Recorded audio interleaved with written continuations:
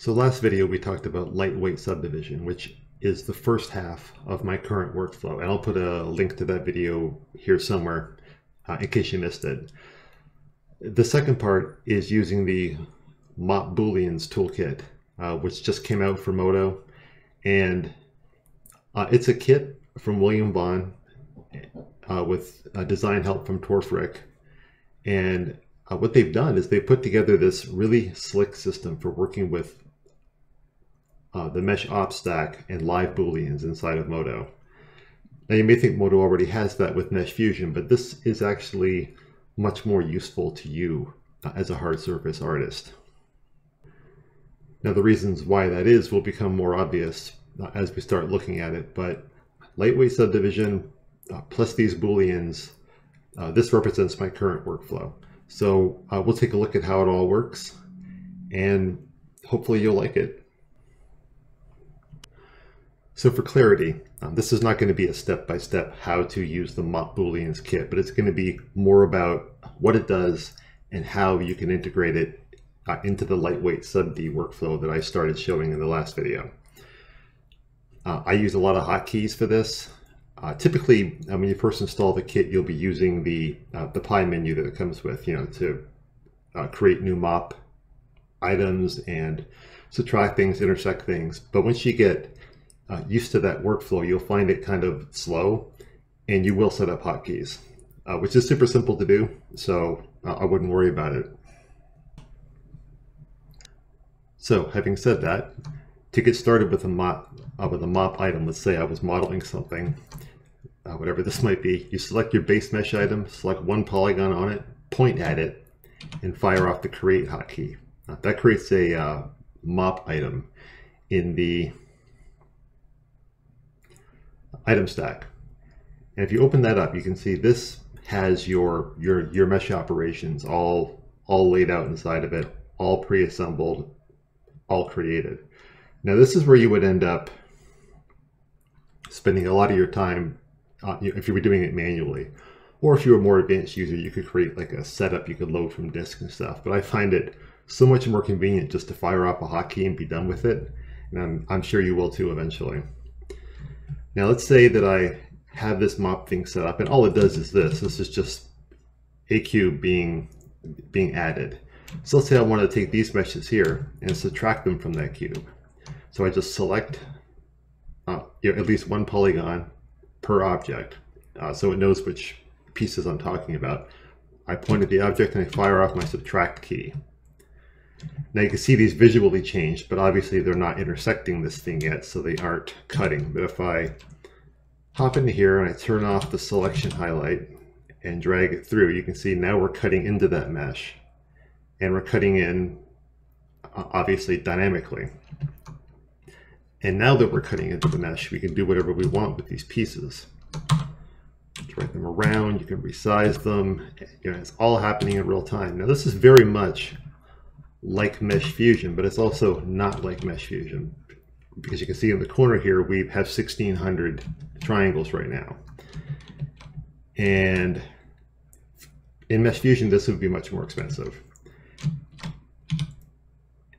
And honestly, uh, once you've created your mesh, you can just start to play with it. You can add bevels, add add things to the meshes, change the meshes, whatever you want to do. You can uh, do a bevel halfway through that cut, and that kind of thing. Get some neat stuff going. And with the rounded edge shader turned on, when I render this out, when Modo catches up with what I'm doing, you'll see that it there you go. Has all the nice edging and everything on it, and, it, and it's perfectly good for uh, normal map baking. Now what may not be so obvious here is that uh, I've mixed uh, regular modeling and sub-D modeling uh, to create this shape. The cube in the background with the bubbles is not subdivided. It's just a basic low poly mesh that I created in Modo. Uh, the cylinders are subdivided uh, using the lightweight sub-D. They isolate those and turn them off. They have eight sides a piece and they're subdividing twice and that kind of thing. But Uh, the system can freely mix your low poly meshes, your sub D meshes. Um, you can use edge loops if you want to. You can use use edge and face weighting. You can intermix freely, uh, which is another huge advantage uh, over Mesh Fusion. Honestly, uh, at this time, about the only advantage that Mesh Fusion has over this system is that Mesh Fusion can handle a more complicated tree more easily. And Mesh Fusion you know, can give you that strip control where you can control the bevels and the transitions between two objects. But that's honestly, you'll come to realize that Mesh Fusion and this tool are serving different purposes. This tool is for knocking out nice hard surface shapes quickly. Mesh Fusion's real purpose in life is to take complex meshes and merge them together uh, nicely. So uh, once you make that distinction in your mind, the two tools uh, work together for different reasons. And it's great on both ends of that, actually. So yeah, we'll just continue to noodle with this because I find it fun just to fool around and see what,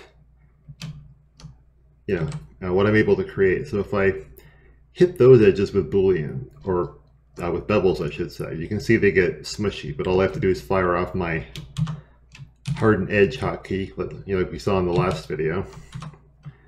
And I'll flatten out the, the ends just by grabbing the ends and telling them to be flat and tight. And then the Boolean now looks a lot more interesting. Now here's what I wanted to show you. I see in the middle here we have this uh, splooge going on. That's because you can't have parts of your cutter that touch other parts of the cutter. And it's the same with intersections and unions and everything else. Uh, that's a limitation of modo booleans. It's just how it works. So you can see if I grab this and move it away, you know, the splooge vanishes. Put it back, the splooge returns. I, mean, I guess it isn't really splooge, that isn't fair to say, but it's uh, each mesh operation, each chunk is subtracting and not respecting what the other one has done, I think is really what it comes down to. Because remember, this cutter is one mesh item. So the way you counteract that uh, here in the mop toolkit is you can take a mesh and you can put it into your uh, your alternate subtract item. So I have a hotkey for that as well. So let me, just, let me check what it is. I have it on my whiteboard over here. Okay. Uh, until I get that muscle memory down, I need to keep referring over there. So I'll put this into my alt subtract. Oh, wait. Oh, I got to point at the mesh. Okay. Now you see that this mesh item is in the alt subtract section. And now I can I can interact with the uh, the initial subtracts just fine with no hassles. And I probably shouldn't even bring this up, but it, as you get more advanced with this toolkit, you can create uh, your own custom uh, assembly for the mop thing that has as many uh, alternate subtracts as you want. You can make alternate uh, intersections and so on and so forth, but uh, I haven't had to do that yet, and you probably won't either for quite a while. Or ever, possibly. Um, I actually don't see a reason why I would ever do that, but it's nice to have that capability. It's nice to have that feature expansion uh, already accounted for. But anyway, let's let's move on. Okay. Uh, so one last thing that might be interesting to see is the uh, the intersection, right? So let me just make a quick shape here. We'll make a box, kind of a wide box. We'll give it this We'll scale it up so it's kind of like a you know, like a curve sort of a shape. We'll slap on some edge weight so it holds that curve nicely. And we'll position it on top of this mesh. Scale it out enough that it scale it out enough that it covers everything. Yeah, and then if I point at the mesh and I hit my my intersection key, as you can see now that now that cube now the only parts of the mesh that are coming through are the parts that intersect my rounded cube. And this is really getting into some powerful territory. Now you can make some wild shapes with this. And it's super simple, fluid, and very solid. I don't think I've had a single crash using this toolkit. So yeah, yeah, I can't really recommend it highly enough. So there's a quick look at the Mop Booleans kit for Modo. Um, and as I said at the beginning, this this combined with the lightweight subdivision stuff, uh, this is my current workflow. And to demonstrate that, um, next video, I think we'll actually build something. We'll take some small uh, mechanical piece and, and, we'll just knock it out from start to finish and just uh, show you how you put something together uh, using this workflow. So um, you know, I'm going to have the link down in the um, uh, description. You can click it, uh, go buy it, uh, watch videos. There's streams from Torfrick using it, you know, in case you want to see something a little more advanced than what I was doing here. And uh, I'll see you next time.